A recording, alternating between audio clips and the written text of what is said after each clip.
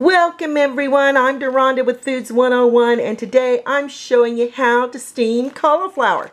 Now at my supermarket earlier, I found this fabulous head of cauliflower. It was surrounded by these beautiful emerald green leaves and I pulled back the leaves and look what I found underneath. Just the traditional white cauliflower. Now cauliflower comes in many other colors such as brown and yellow and purple, but the traditional cauliflower is white. Now, to pick a cauliflower, you want your florets very tight. When you push on them, you don't want them giving in on you when you use your thumb just to push in on the florets.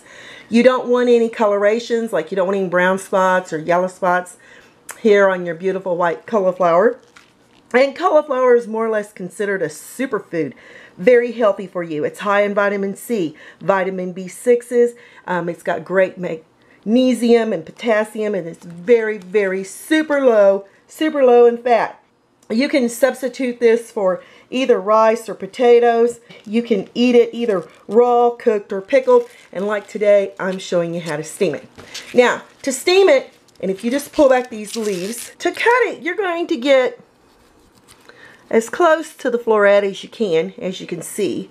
And just cut off as much as you're going to steam and I'm steaming for two. So look how beautiful and lovely that is. And I've got a pot over here on the oven top with about an inch of water in it. And I'm going to bring it to a boil. Now, if your florets are too large, you can go ahead and cut them and just pull it apart. So you've got these bite-sized pieces. If you want to continue cutting it down, you may just like that. And looky there. Oh my gosh, it's going to be absolutely fantastic. But the greatest part is it's going to be so healthy for you. The cauliflower you're not using for today, you just want to wrap it up, stick it back in the refrigerator, but keep it intact. Don't cut it off till you're ready to use. You want to make sure that you invest in a lovely steamer such as this. It's only five or six dollars. You can pick it up at your local supermarket or you could pick it up at any retail shop. You're just going to open it. Now I've rinsed my cruciferous vegetables under fresh, clean running water. Cruciferous meaning cauliflower is a part of that family. And you're going to place your florets around like this. And now over here into its steaming bath. Steam your cauliflower on medium-high heat for the next seven minutes.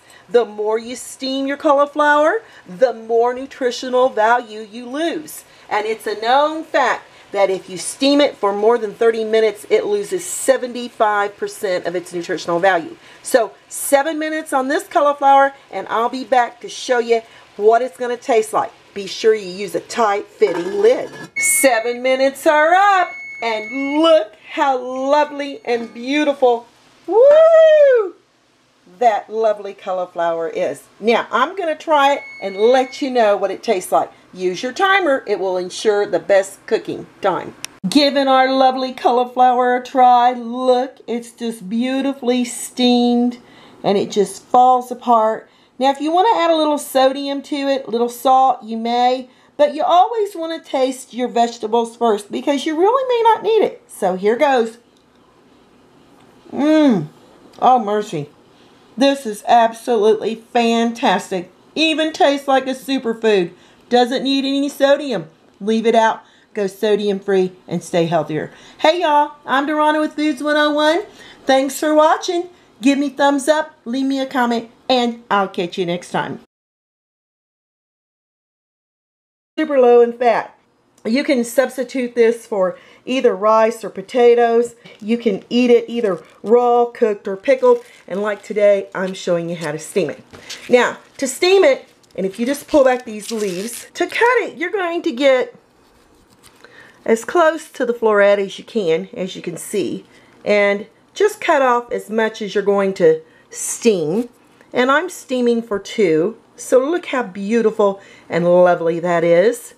And I've got a pot over here on the oven top with about an inch of water in it. And I'm going to bring it to a boil. Now, if your florets are too large, you can go ahead and cut them and just pull it apart. So you've got these bite-sized pieces. If you want to continue cutting it down, you may just like that. And looky there. Oh my gosh, it's going to be absolutely fantastic. But the greatest part is it's going to be so healthy for you. The cauliflower you're not using for today, you just want to wrap it up, stick it back in the refrigerator, but keep it intact. Don't cut it off till you're ready to use. You want to make sure that you invest in a lovely steamer such as this. It's only five or six dollars. You can pick it up at your local supermarket or you could pick it up at any retail shop. You're just going to open it. Now I've rinsed my cruciferous vegetables under fresh, clean running water. Cruciferous meaning cauliflower is a part of that family. And you're going to place your florets around like this and now over here into its steaming bath. Steam your cauliflower on medium-high heat for the next seven minutes. The more you steam your cauliflower, the more nutritional value you lose. And it's a known fact that if you steam it for more than 30 minutes, it loses 75% of its nutritional value. So seven minutes on this cauliflower, and I'll be back to show you what it's going to taste like. Be sure you use a tight fitting lid. Seven minutes are up, and look how lovely and beautiful, woo, that lovely cauliflower is. Now, I'm going to try it and let you know what it tastes like. Use your timer. It will ensure the best cooking time. Giving our lovely cauliflower a try. Look, it's just beautifully steamed and it just falls apart. Now, if you want to add a little sodium to it, a little salt, you may. But you always want to taste your vegetables first because you really may not need it. So here goes. Mmm. Oh, mercy. This is absolutely fantastic. Even tastes like a superfood. Doesn't need any sodium. Leave it out. Go sodium free and stay healthier. Hey y'all, I'm Deronda with Foods 101. Thanks for watching. Give me thumbs up, leave me a comment, and I'll